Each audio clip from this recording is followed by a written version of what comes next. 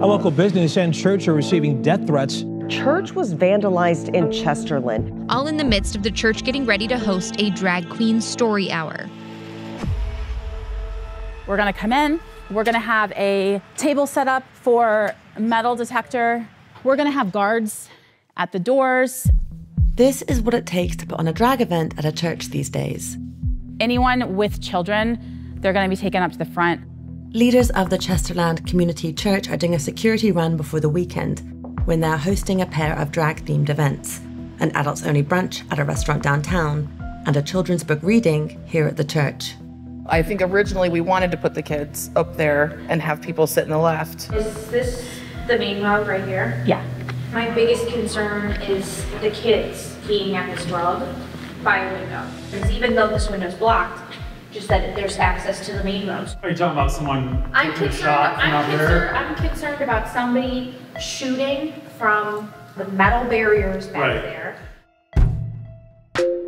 Since the events went public, the church has been bombarded by hate and threats.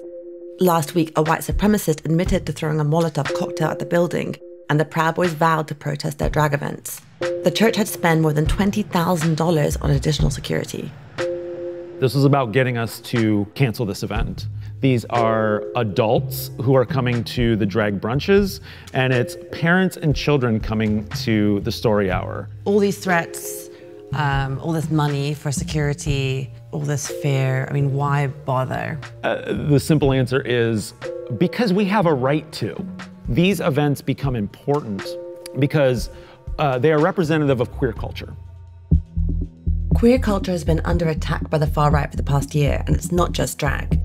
Protests and political violence targeting the LGBTQ community more than tripled, according to one watchdog. And last month, extremists gathered outside a drag event in Wadsworth, just an hour away, where they shouted Nazi slogans and clashed with protesters. How does it feel to be the one that's being targeted? Like it's, it's come here now. A little scary, number one, not gonna lie. White supremacists, self professed Nazis, death threats on my door. So I'm used to, to some extent, um, being threatened personally. That bothers me less than my congregation being threatened. They have to be stopped. Someone has to put their foot down and say, We're not gonna let you bully us anymore. What makes you think that God is gonna love you in your sin? The next morning, the mood outside the drag brunch was tense. Jesus Christ died for our sins. If you abide in him, he will abide in you. Hair, shoes, all the fun. Inside, Veranda Lanai is getting ready to participate in both of today's events. All right, I gotta put my lashes on. How are you feeling? A little nervous, but good. This place that we're at now, you know, where you've got to deal with these kind of threats or this fear, I mean, is this the new normal for you to do your job? God, I hope not. I've never had this kind of protesting and anger towards an art form before. I mean, I've happily done my job for 15 years, so why now? You know, drag performers are meant to be a pillar of our community. And if we can't stand up for those who don't have a voice, then what are we doing? Are you scared? Just a little bit. You, you never know what's going to come at you. I don't know what's going on outside, and that's the scary part. Who's really out there gunning for me, coming for me? Strong family, strong nation. If a man lies with a man, he has committed an abomination in the eyes of a holy God. I'm going to be bringing out Cleveland's tallest drag queen, Miss.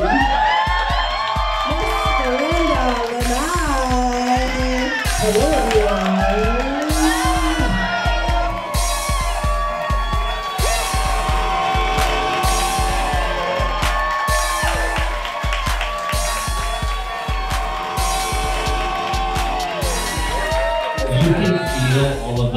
this room right now. You can feel all of the support, and I want to thank each every one of you. Liberty! Victory! One! Liberty! Victory! The protesters outside the restaurant made a lot of noise, but they didn't stay long. And when it started to rain, most of them went home. Good try, guys. Bye. You guys are only here for 20 minutes? Back at the church, The children's book reading also went off smoothly, just with a lot of extra security. And about 10 minutes before the story hour began, the local Proud Boys chapter claimed that their threat of protest had all been an April Fool's joke. Hi, everybody. Hi. Ooh, are you ready for a good story? It's called The Good Egg. I'll be good with my fellow eggs while also being good to myself. All right, everyone, I want you to reach for the sky. Yes, yes, yes. Now shake. Shake it all out. Shake, shake, shake, shake, shake, shake, shake. We can't thank you enough for your wonderful support.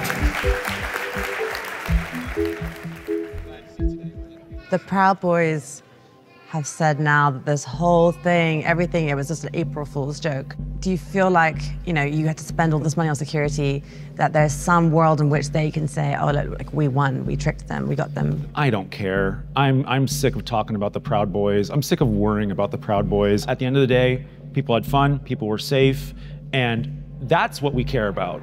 Will you be holding more of these events? Absolutely. Once your church is attempted to be burned down with a Molotov cocktail, you have entered a new era. And we have.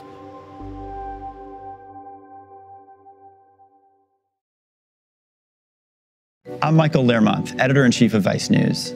Too often, traditional news outlets shy away from the real stories and experiences of those living through global conflicts, not Vice News. Our reporters are on the ground, fearlessly covering the human stories that shape our world. You and millions of others can continue to read, watch, and listen to Vice News for free.